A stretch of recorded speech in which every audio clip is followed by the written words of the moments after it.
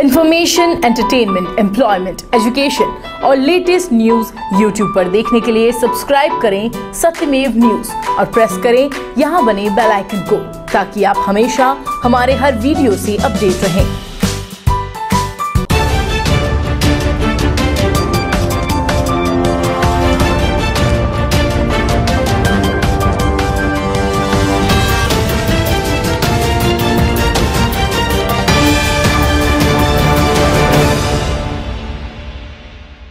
नमस्कार, आप देख रहे हैं सत्यमेव न्यूज़ और मैं आपके साथ हूँ निर्मला राव। हम पेश है खबर दिन भर में इस वक्त की खास खबरों के साथ। आगामी विधानसभा चुनाव के मद्देनजर अनुसूचित जाति हेतु आरक्षित सीट शाहपुरा बनेड़ा विधानसभा क्षेत्र एक सौ इक्यासी के अति संवेदनशील मतदान केंद्रों का जिला कलेक्टर और जिला निर्वाचन अधिकारी शुचि त्यागी ने मंगलवार को निरीक्षण कर स्थिति का जायजा लिया। और इस दौरान जिला निर्वाचन अधिकारी और जिला कलेक्टर शुचि त्यागी ने सांगरिया कस्बे में सांकला मोहल्ला स्थित अल्पसंख्यक परिवार से रूबरू होकर आगामी विधानसभा चुनाव में भय मुक्त होकर मतदाताओं को मतदान करने के लिए प्रेरित किया। इस अवसर पर शाहपुरा पुलिस उपाधीक्षक भौमाराम शाहपुरा उपखंड अधिकारी चेतन कुमार त्रिपाठी फुलियाकला थाना प्रभारी बिहारी लाल, पुलिस मय जाप्ता मौजूद रहे।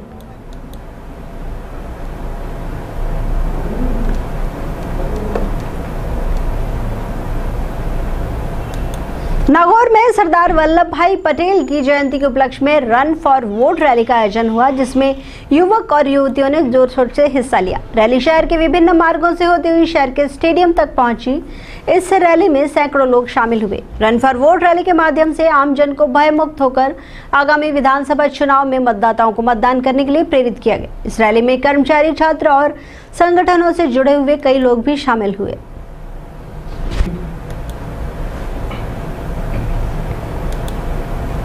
भारत के प्रथम गृह मंत्री सरदार वल्लभ भाई पटेल की एक जयंती पर बाप और आसपास के क्षेत्रों में विभिन्न कार्यक्रमों का आयोजन हुआ। पटेल की जयंती को राष्ट्रीय एकता दिवस के रूप में मनाया गया। आयोजित कार्यक्रम में संबोधित करते हुए एसडीएम सुखाराम पिंडेल ने पटेल की जीवनी से प्रेरणा लेकर उनके आदर्शों को जीवन में अपनाने की बात कही। इस अवसर पर राष्ट्रीय एकता की प्रतिज्ञा भी की गई।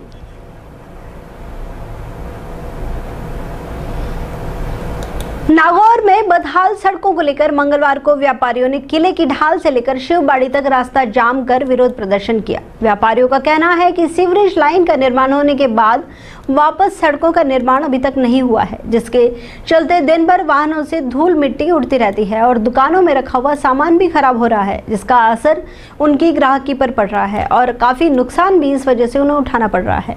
व्यापारियों का ये भी कहना है कि सड़क निर्माण का कार्य तुरंत शुरू किया जाए, जिससे आम जन को राहत मिल सके। स्वीप कार्यक्रम के तहत उपखंड कार्यालय बाप में ईवीएम और वीवीपैट मशीन का प्रदर्शन कर विकास अधिकारी डॉक्टर दीपक शर्मा ने कार्यक्रम की जानकारी दी। शर्मा ने आगामी विधानसभा चुनाव को लेकर चर्चा करते हुए अधिकारियों और कर्मचारियों से मतदान, शत प्रतिशत मतदान के लिए मतदाताओं को प्रेरित किया। इस अवसर पर उपखंड अधिकारी सुखाराम पिंडेल, तहसीलदार रणछोड़ लाल मेघवाल, जलदाय विभाग के अधिकारी नीरज राजपूत और सहायक अभियंता सही राम विश्नोई आदि उपस्थित रहे।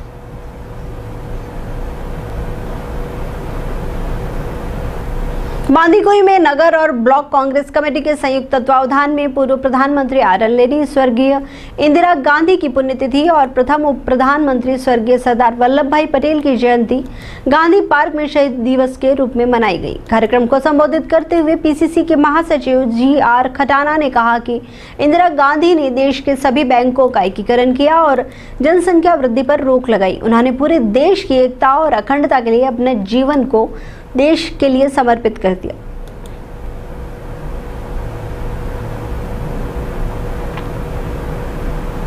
सिकंदरा चौराहे के मानपुर रोड पर राहगीर को एक ट्रक ने कुचल दिया, जिससे राहगीर की मौके पर ही मृत्यु हो गई और सड़क पूरी तरह से जाम हो गई। पुलिस मौके पर पहुँची और सड़क पर बिखरे हुए शव के टुकड़ों को समेटकर अस्पताल भिजवाया। शव की पहचान सावंत सिंह पुत्र राम सिंह हवेली बुर्जा के रूप में हुई। गौरतलब है कि सिकंदरा में अब तक 20 दिन के अंतराल में दर्जनों लोगों की जान जा चुकी है। इसके बावजूद भी प्रशासन द्वारा स्पीड ब्रेकर नहीं बनाए जाने से वाहन चालक मौत की आगोश में आ जाते हैं।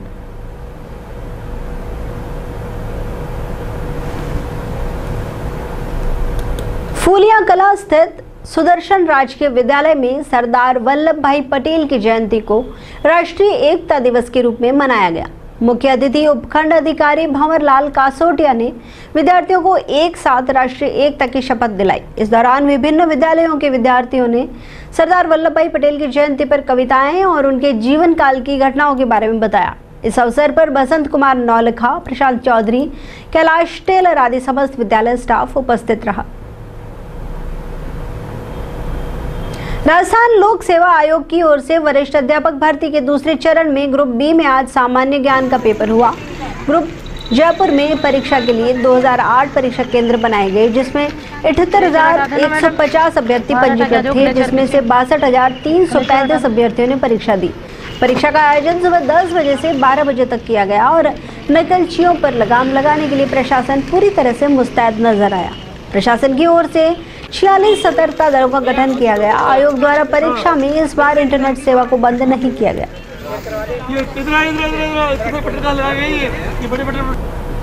आईपीएस हरिप्रसाद शर्मा आज भले ही राजकीय सेवा से रिटायर हो रहे हैं, पर जनता इन्हें आराम से बैठने नहीं देगी। और यही वजह है कि शर्मा के घर के आगे हज़ारों की तादाद में लोग केवल इसलिए आ रहे हैं कि हरिप्रसाद अब राजनीति के क्षेत्र में आए और जनता की समस्याओं का निराकरण कर रहे हैं। लोगों की भावनाओं को ध्यान में रखते हुए आगामी विधानसभा चुनाव में आईपीएस शर्मा का ताल ठोकना लाजमी दिखाई दे रहा है। साथ ही राजनीतिक गलियारों में आईपीएस शर्मा को लेकर कयास लगाए जा रहे हैं कि झोटवाड़ा या फुलेरा, दोनों में से किसी एक विधानसभा में शर्मा नज़र आ सकते हैं। झुंझुनू में कांग्रेस कार्यकर्ताओं द्वारा आज पूर्व प्रधानमंत्री इंदिरा गांधी और देश के पहले उप प्रधानमंत्री सरदार वल्लभ भाई पटेल को याद किया गया। आज पूर्व प्रधानमंत्री इंदिरा गांधी की पुण्यतिथि है तो वहीं सरदार पटेल की जयंती भी है। गिडानिया ब्लॉक कांग्रेस अध्यक्ष मोहर सिंह सोलाना की अध्यक्षता में हुए इस कार्यक्रम में जिला परिषद सदस्य इंजीनियर प्यारे लाल ढुकिया समेत बड़ी संख्या में कांग्रेस पदाधिकारी और कार्यकर्ता कार्यक्रम में शामिल हुए। इस मौके पर सभी ने दोनों महापुरुषों के जीवन पर प्रकाश डाला और उनके बताए हुए मार्ग पर चलने का आह्वान किया। साथ ही आने वाले विधानसभा चुनाव के लिए कांग्रेस को मज़बूत करने का भी आह्वान किया।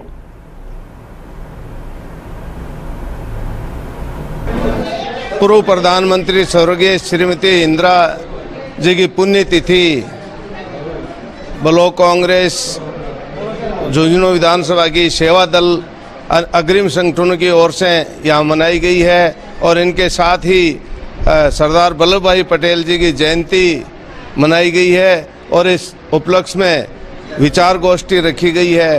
इंदिरा जी के बताए गए मार्ग पर और सरदार जी के बताए गए मार्ग पर कांग्रेस पार्टी को मज़बूत करने के लिए हर कार्यकर्ता आगे बढ़े।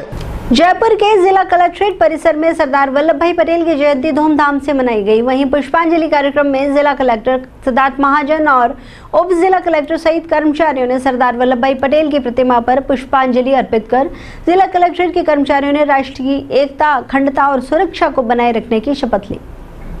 इसके साथ ही इस बुलेटिन में इतना ही। देश दुनिया की ताज़ा खबरों के लिए आप देखते रहिए सत्यमेव न्यूज़। हमेशा सच के साथ।